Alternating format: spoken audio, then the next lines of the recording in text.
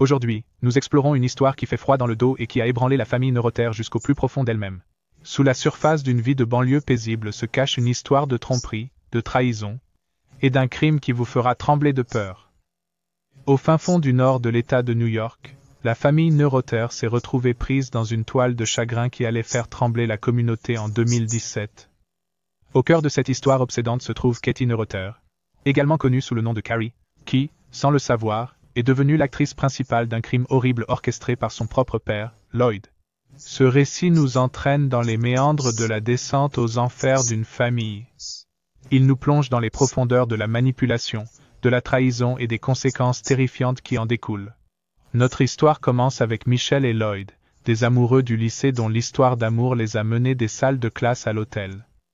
Sur le chemin de la vie, ils ont eu la chance d'avoir trois filles, créant ce qui semblait être une famille parfaite. Lloyd, qui avait un an de moins que Michel, a facilement conquis son cœur et, deux ans après leur rencontre, ils ont célébré joyeusement leur union. Ils ont joyeusement célébré leur union lors d'une petite, petite cérémonie intime. Les premières années de leur mariage ont été remplies d'amour et de dévouement, tandis qu'ils relevaient les défis de la construction d'une vie commune. Au milieu des années 1990, leur première fille est arrivée, suivie de Carrie deux ans plus tard. La famille Nerada, qui compte désormais cinq membres, s'installe dans une maison plus grande à Corning, dans l'État de New York. À première vue, Lloyd semble être un père dévoué, activement impliqué dans la vie de ses trois filles. Michel, professeur d'anglais à l'esprit vif, apporte chaleur et rire à leur vie, apporte de la chaleur et des rires dans leur foyer. Ensemble, ils formaient le couple parfait. Cependant, comme c'est souvent le cas dans les histoires tragiques, les apparences peuvent être trompeuses. Le rôle initial de Lloyd en tant que père attentionné s'est lentement transformé en celui d'un personnage contrôlant et manipulateur. Il cherchait à dominer totalement la vie de ses filles, imposant sa volonté et recourant à des châtiments physiques si ses règles strictes n'étaient pas respectées. La charmante façade s'est effondrée, révélant une réalité bien plus sombre qui se cachait sous la surface. Carrie, la fille du milieu, a étonnamment maintenu un lien fort avec son père malgré son comportement de plus en plus manipulateur. L'influence de Lloyd s'étendait à des activités telles que l'accompagnement de Carrie à la danse classique tous les dimanches, et sa mise en beauté devant d'autres mères. En revanche, Michel entretenait une relation égale et bienveillante avec ses trois filles. En tant que professeur d'anglais, elle consacre également son temps à diverses œuvres caritatives, en particulier celles visant à aider les sans-abri de Corning. Les premiers signes d'altération de l'image parfaite de la famille Nerada sont apparus lors de la crise économique de 2008. Lloyd perd son emploi chez Corning Incorporated, entraînant des difficultés financières pour la famille. Désespéré, Lloyd trouve un emploi dans le New Jersey, et Michelle, qui l'a toujours soutenu, ne s'oppose pas à cette décision. Elle est loin de se douter que ce déménagement n'est que le début d'une série d'événements qui vont ébranler la stabilité de la famille. Quelques mois plus tard, Lloyd surprend Michelle en lui signifiant les papiers du divorce. Cette décision choquante a pris tout le monde au dépourvu. Il n'y avait pas de conflits évidents ou de raisons de mécontentement, ce qui a laissé Michel dévasté par la froideur soudaine de son mari autrefois dévoué. Pour ne rien arranger, Michel avait coupé les ponts avec sa propre famille un an plus tôt, manipulée par Lloyd. Elle s'est ainsi retrouvée privée du système de soutien sur lequel elle aurait pu compter dans les moments difficiles. Michel, confronté au défi de la monoparentalité, et à l'absence d'un système de soutien solide, a lentement commencé à reconstruire sa vie. Cependant, Lloyd ne s'est pas contenté du divorce et a décidé de se battre pour obtenir la garde complète de leur fille. La procédure de divorce a duré cinq ans, émaillée de fausses déclarations et de tentatives de dépeindre Michelle comme une mère inapte. L'acharnement de Lloyd s'est traduit par 26 plaintes déposées après le divorce, chacune contenant des allégations fabriquées de toutes pièces visant à ternir la réputation de Michelle. Michelle s'est farouchement défendue, contrant les fausses allégations avec ses propres arguments. La bataille ne se déroulait pas seulement dans la salle d'audience, mais aussi dans le cœur et l'esprit de leur fille. La fille aînée, qui venait d'avoir 18 ans, décida de vivre avec Lloyd. Michelle, quant à elle, conserve la garde des deux plus jeunes. Mais la guerre psychologique ne fait que s'intensifier. Tout prend une tournure tragique le 13 août 2017. Dans cette histoire déjà chaotique, une amie de la famille arrive chez Michel pour récupérer sa fille cadette pour l'entraînement de natation, et fait une découverte choquante. L'amie a trouvé le corps sans vie de Michel pendu à la rampe d'escalier du premier étage. Dans un premier temps, on pense qu'il s'agit d'un suicide, mais des détails troublants apparaissent bientôt, jetant le doute sur cette conclusion. La police, chargée de découvrir la vérité sur la mort de Michel, s'est trouvée confrontée à une énigme complexe. Michel vivait avec sa fille de 14 ans, qui était étrangement absente de la maison lors de l'incident. Les circonstances entourant la mort de Michel sont devenues de plus en plus suspectes. On conduit à une enquête plus approfondie. En examinant l'autopsie de Michel, les experts médico-légaux ont découvert des incohérences qui contredisent la théorie du suicide. Il y avait une marque particulière autour de son menton, et des signes de lutte avant qu'elle ne soit attachée à la rampe d'escalier. Deux jours avant sa mort, Michel avait envoyé un message à une amie pour exprimer son soulagement que Lloyd ne soit pas présent lors d'une audience au tribunal. Ce fait, ainsi que ses tentatives pour toucher son assurance vie, ont éveillé les soupçons quant, à, son les soupçons quant à son implication. Alors que la police cherchait désespérément la fille cadette de Michel, un événement surprenant s'est produit. Carrie, la fille du milieu, s'est révélée être un personnage crucial de l'enquête. Le fait qu'elle ait d'abord raconté qu'elle s'était rendue chez sa mère la nuit de l'incident a fait froncer les sourcils, surtout si l'on considère l'événement récent. Les amis de Michel ont contredit la description faite par Carrie du comportement de sa mère. Le mystère s'est encore épaissi.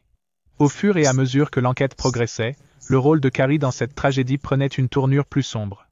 La police a découvert une conversation pénible entre Carrie et Lloyd grâce à une écoute téléphonique, ce qui les a poussés à la confronter aux preuves. Face à des preuves indéniables, Carrie avoue son implication dans le meurtre de sa mère, révélant une histoire de manipulation, de coercition et de trahison au sein de la famille.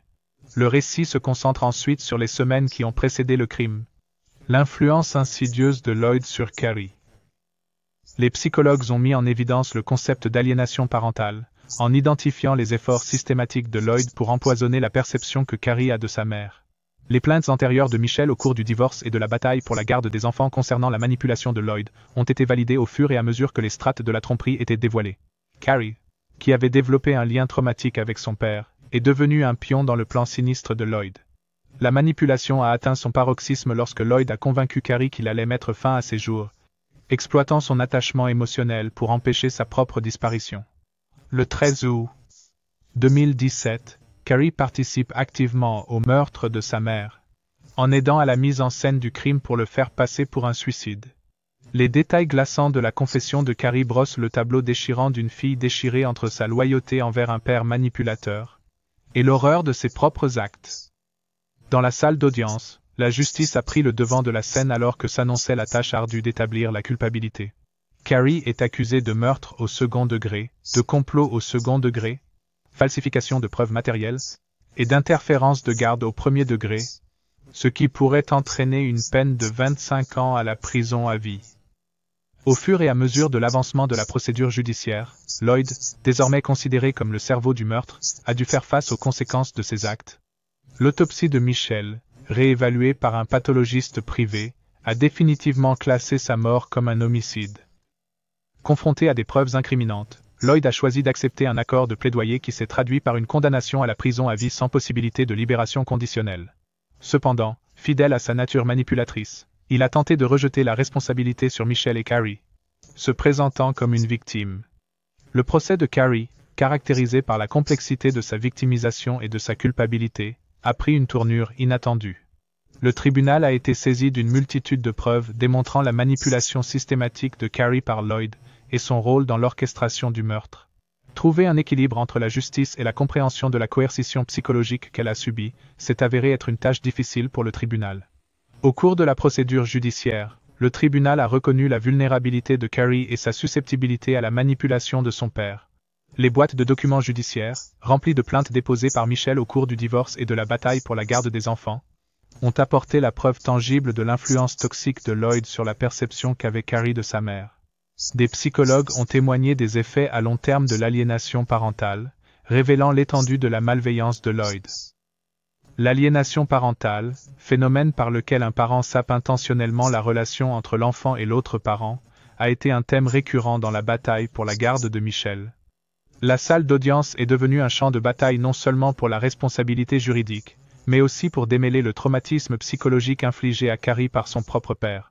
Les efforts de Michel pour dénoncer la manipulation de Lloyd, documentés dans les dossiers du tribunal, ont permis de dresser un tableau permis de brosser le tableau à la violence déchirée par la tromperie. La peine de Carrie pour homicide involontaire au second degré a pris une tournure inattendue lorsqu'elle a été ramenée de 1 à 3 ans. Le procureur a reconnu l'importance de sa coopération en tant que témoin clé contre Lloyd. Le procureur a reconnu l'importance de sa coopération en tant que témoin clé contre Lloyd, comprenant le rôle significatif de son témoignage jouer dans l'obtention Carrie a révélé d'autres détails, avouant sa participation active au plan horrible de Lloyd. Cette révélation a laissé la salle d'audience aux prises avec les complexités de sa victimisation, maintenant pleinement consciente de l'étendue de sa participation.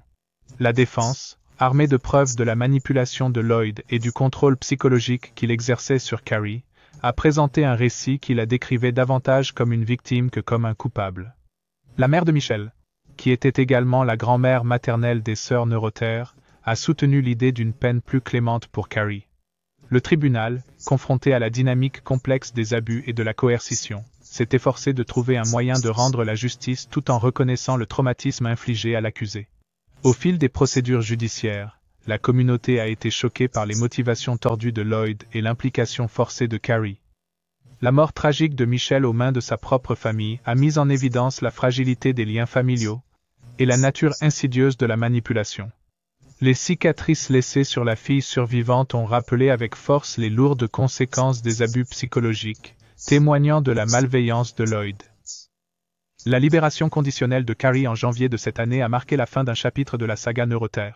Le soutien de sa grand-mère maternelle et le désir de Michel d'assurer le bien-être de sa fille, malgré leur alignement sur Lloyd, ont mis en évidence l'impact profond de la tragédie sur l'ensemble de la famille.